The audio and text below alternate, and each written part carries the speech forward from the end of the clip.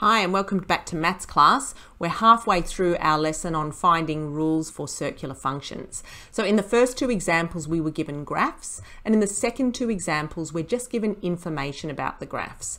So part of the information I'm given is what form of the equation to use. And looking at this I can see that I have a vertical translation but there's no horizontal translation.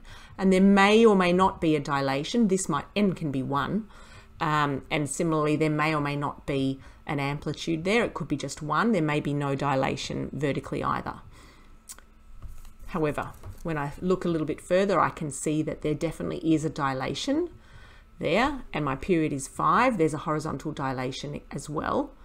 And now I just need to use all the information given to work out A, N, and B. All right, so let's start with the first information given, the range is negative 3 to 1. So my amplitude, if you remember from the last example, I'm going to use the y max minus the y minimum. In other words, what is the y value, the maximum y value, and what is the minimum y value? And that's given to me in the range over 2. So the y max is 1. Oh, this is the same as the last one. I didn't do that on purpose. So I get 2. All right, 1 minus negative 3 over 2 gives me 2. But what about the mid, the center line? The center line is going to have an equation which I'm still going to use these two endpoints, but I'm going to take the average of those two endpoints, which means I just add them together and divide by 2. So it's the same, it's y max plus y min divided by 2 which gives me negative, oh, let's start with the max, 1 plus negative 3 over 2, which is negative 2 on 2, which gives me negative 1.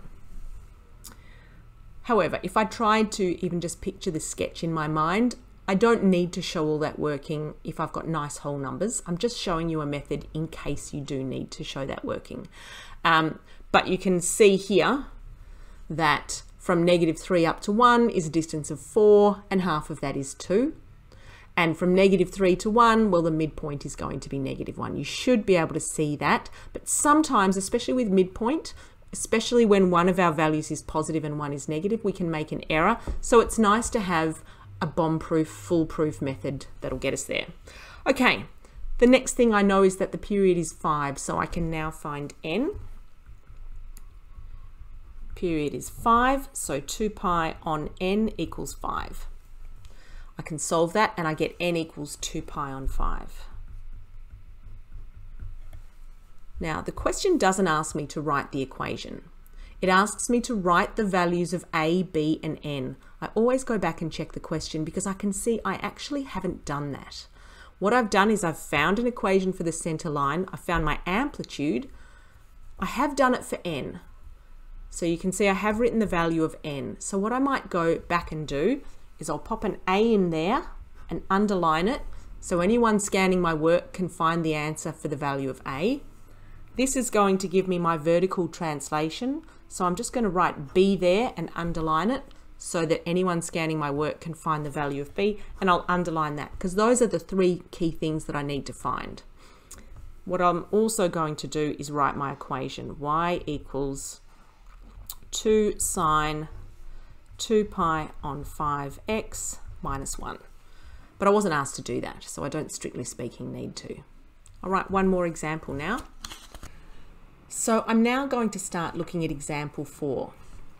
I can see that I'm going to have an amplitude, I'm going to have a horizontal dilation, and there's going to be a horizontal translation. But I can also see from the range, the range is from negative 3 to 3, so that I can see there, there's no vertical translation, which means I can very quickly write down my amplitude and I don't need to show any working at all. The amplitude is going to be 3 and I'm straight away going to use the pronumeral A, which is what I'm asked to use here. All right, the next thing I can use is the fact that the period is 8 and that will help me to find n. So my period is 8. That means that 2 pi on n equals 8 solve that equation and you get 2 pi on 8 is n, which is the same as pi on 4. So I've now already found A and N. And so the last thing I need to find is epsilon. That's sort of my horizontal translation, but there are actually two ways to go about doing this. And I'm going to show you both of those methods. Um, the way that I like to use is I know that y is 0 when x is 3. So if I do a quick sketch, what that basically means is that if there's 3, that's going to be the starting point of my function.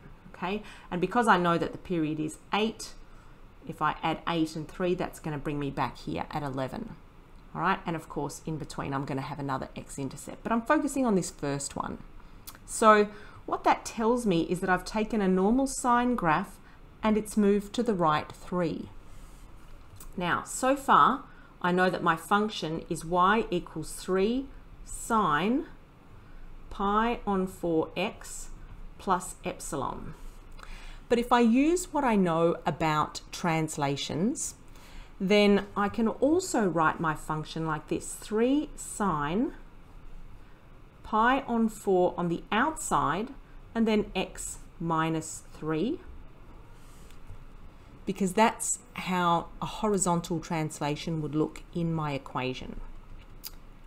I then want to make this into the same form as this plus epsilon where I don't have the x minus 3 in a separate bracket, which just means I need to expand this bracket here. So I'm going to go 3 sine pi on 4x minus 3 pi on 4. So notice that when I'm in this format, the format given in the question, the epsilon does not give me exactly the horizontal translation, all right? I need to take out a factor of n first before I'll get the horizontal translation of 3. Okay, so that's one way of doing it. And I like doing that method because I find using this method that x minus 3 is going to give me a translation to the right of 3. I find that quite straightforward. There is another method I can use, and that is I'm told that when y is 0, x is 3, which means that 3, 0 is a point on my graph. So what I'm going to do is I'm going to substitute y is 0 into this equation and x is 3. And that's going to give me this 0 equals 3 sine pi on 4 times 3 plus epsilon. So let's solve that now. Well, I know that the 3 really isn't going to affect it. I divide both sides of my equation by 3 and I'll get 0 equals sine pi 3 pi on 4 plus epsilon. So when is sine of an angle equal to zero? So sine is my y value, which means it's going to happen, if I look at my unit circle, it's going to happen here and here. So it's going to happen in multiples of pi. So um, 3 pi on 4 plus epsilon can equal 0 or pi or 2 pi. It can also equal negative pi, negative 2 pi, and so on right? But I really just want to know the horizontal shift. So I'm really going to focus on one. So what I'm going to do is just use the zero value in order to solve this. So 3 pi on 4 plus epsilon equals 0. Solve that, I get epsilon equals 3, sorry, negative 3 pi on 4, which is the same as what I found over here.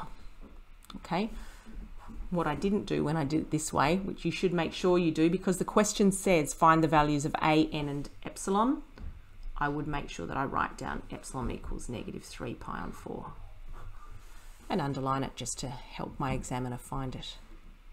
Okay, that's the end of our video on finding the rules for graphs of circular functions.